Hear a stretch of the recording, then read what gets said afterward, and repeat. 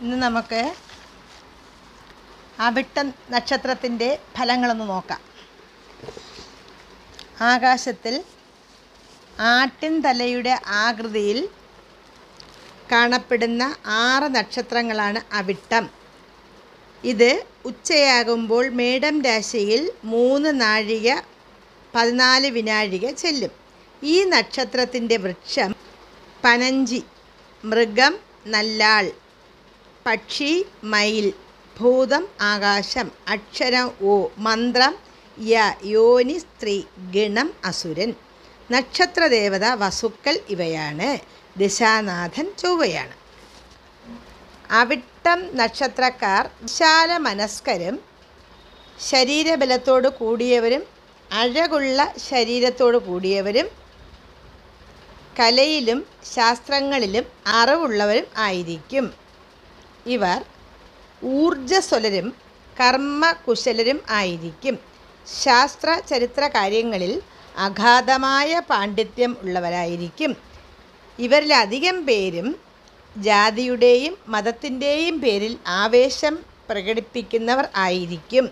ജീവിതത്തിൽ എല്ലാ ഐശ്വര്യങ്ങളും ഉദ്ദേശിക്കുന്ന കാര്യങ്ങളും അനുഭവിക്കുന്നവരാണ് പൊതുവെ ഈ നക്ഷത്രക്കാർ.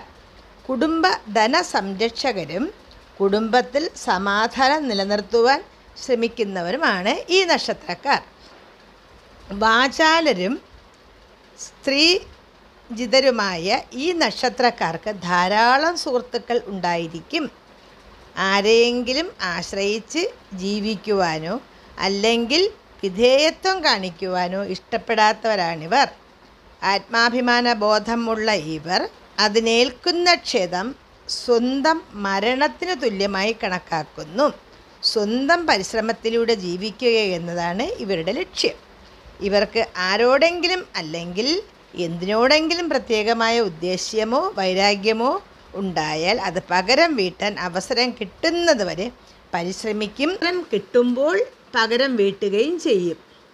ശത്രുക്കളുമായുള്ള ഏറ്റുമുട്ടലുകളിലും തർക്കങ്ങളിലും വ്യവഹാരങ്ങളിലും ഇവർക്കായിരിക്കും ജയം.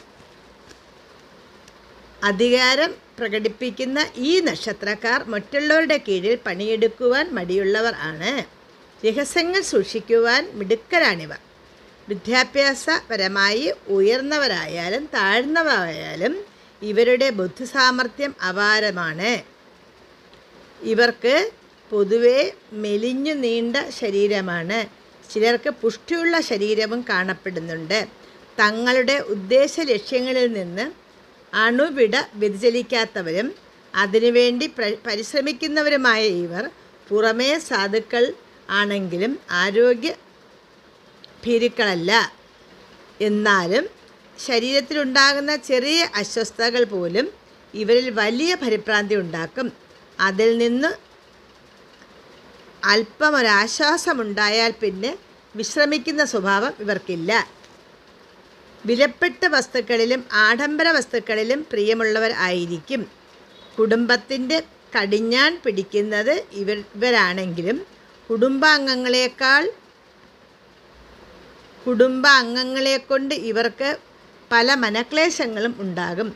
കുടുംബകാര്യത്തിൽ സഹോദരീ പക്ഷത്ത് നിൽക്കാതെ സഹോദരപക്ഷത്ത് നിൽക്കാൻ താല്പര്യമുള്ളവരാണിവർ. കുടുംബ സ്വത്തുക്കൾ സ്വാധീനമാക്കാനും അനുഭവിക്കുവാനും ഇവർക്ക് ഭാഗ്യമുണ്ട്. ഇരുപത്തിനാലാം വയസ്സ് മുതൽ പുരോഗതി ഉണ്ടാകുമെങ്കിലും എന്തെങ്കിലും കുഴപ്പങ്ങളും പ്രതിബന്ധങ്ങളും ഉണ്ടാക്കാതിരിക്കില്ല. ഇവരുടെ ദാമ്പത്യ ജീവിതം സമാധാനപരവും സംതൃപ്തിയും നിറഞ്ഞത് ആയിരിക്കും.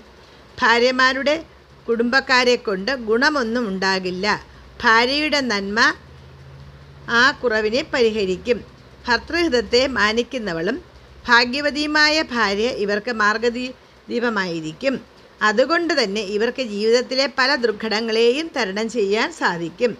വിവാഹത്തിന് കാലതാമസം ഉണ്ടാവുകയോ ചില്ലറ പ്രശ്നങ്ങൾ നേരിടേണ്ടി വരികയോ ചെയ്യും. മധ്യായുസ് കഴിഞ്ഞാൽ ഒരു നല്ല ജീവിതം കെട്ടിപ്പടുക്കാൻ ഇവർക്ക് കഴിയും. ഈ നാളിൽ ജനിക്കുന്ന സ്ത്രീകൾ വിവേകശാലികളും തന്റേടികളും ആയിരിക്കും. ആരോഗ്യത്തിൽ പിന്നിലായിരിക്കും. ഗൃഹഭരണത്തിലും ഔദ്യോഗിക രംഗത്തും പൂർണതോതിൽ ശോഭിക്കാൻ കഴിയും. ഇവരിൽ വൈരാഗ്യചിന്ത കൂടുതലായിരിക്കും. ചൊവ്വ ദശാനാഥനായ ഈ നക്ഷത്രത്തിന് ചൊവ്വ കഴിഞ്ഞാൽ രാഹു വ്യാഴം ശനി ബുധൻ കേതു ശുക്രൻ സൂര്യൻ ചന്ദ്രൻ എന്നീ ക്രമത്തിൽ ദശാകാലങ്ങൾ. നമസ്കാരം.